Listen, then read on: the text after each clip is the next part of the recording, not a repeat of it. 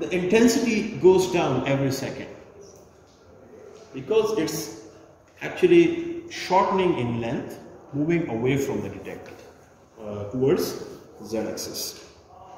So as a result of this relaxation, we get the FID, which is this decaying signal, and it's a time domain signal because with time it is decaying in intensity, it is lowering in intensity, and we have to convert this into a more readable, understandable signal. So we have to apply a, a mathematical operation that we call the Fourier transform to convert it into a frequency domain signal, right?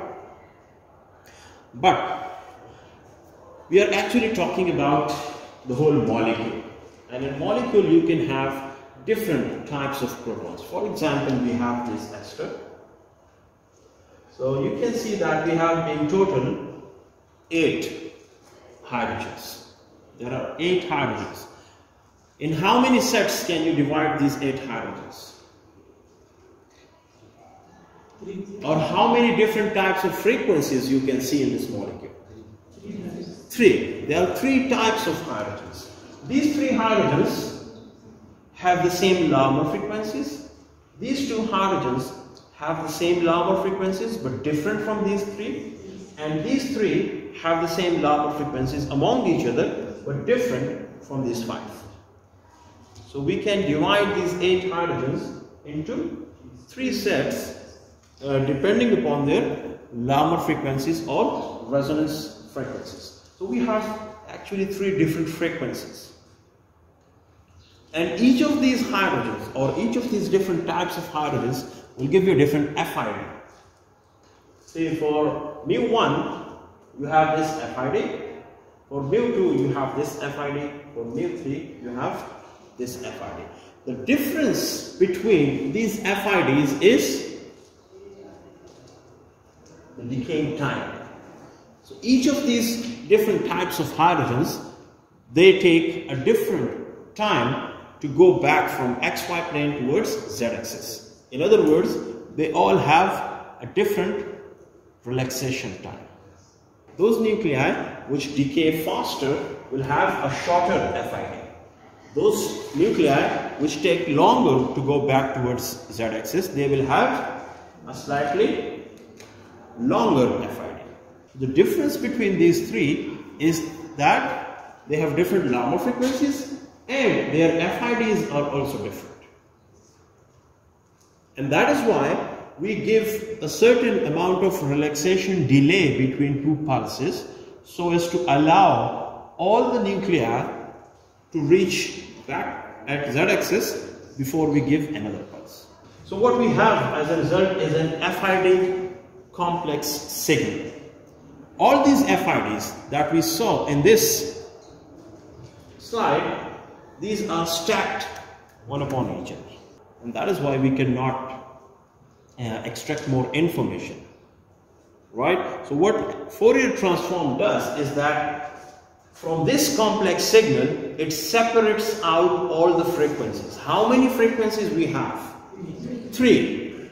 But in this complex FID, we cannot differentiate between these three frequencies.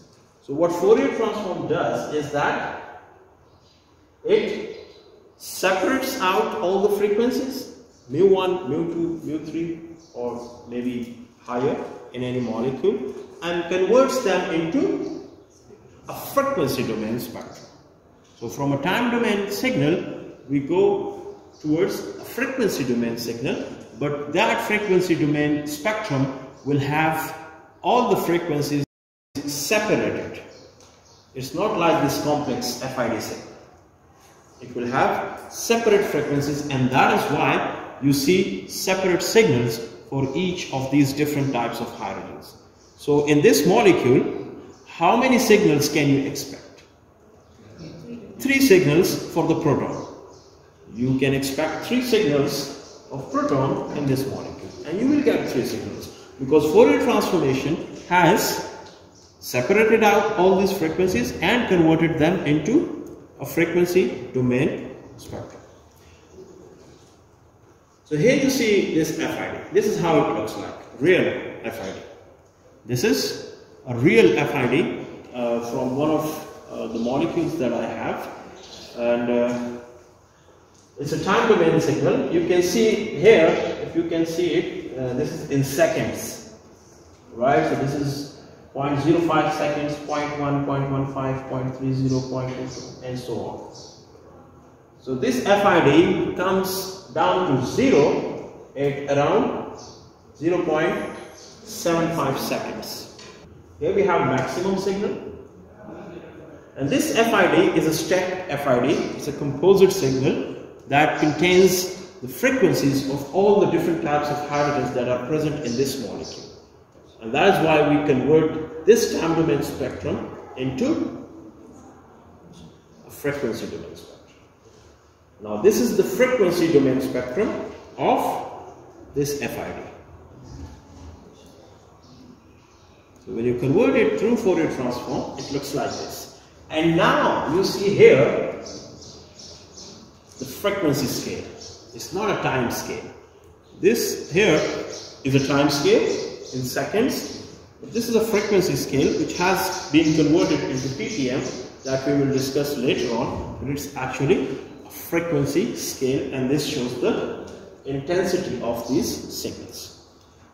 So from the number of signals that you see here, you can tell or you can determine the number of different types of hydrogens that are present or the number of different uh, types of Larmor frequencies present in this molecule. So we have 1, 2, 3, 4, 5, 6, 7, 8, 9, and 10.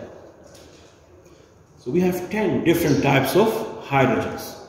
Or we have hydrogens with 10 different Larmor frequencies. Some of them have frequencies in this range, some have frequencies in this range, and this one has frequency in this range. So what Fourier transform does is that uh, it converts uh, it into uh, separate frequencies and then converts it into this frequency domain. There are different softwares uh, through which you can play with your uh, uh, spectrum. So this is original FID, processed FID or फिर क्या है spectrum after first Fourier transform. Let's see the original FID. And then you convert this into a Fourier transform. So tomorrow we will talk about the signal to noise ratio. This was all about uh, FID and Fourier transformation, uh, how it uh, helps you in finding out different protons.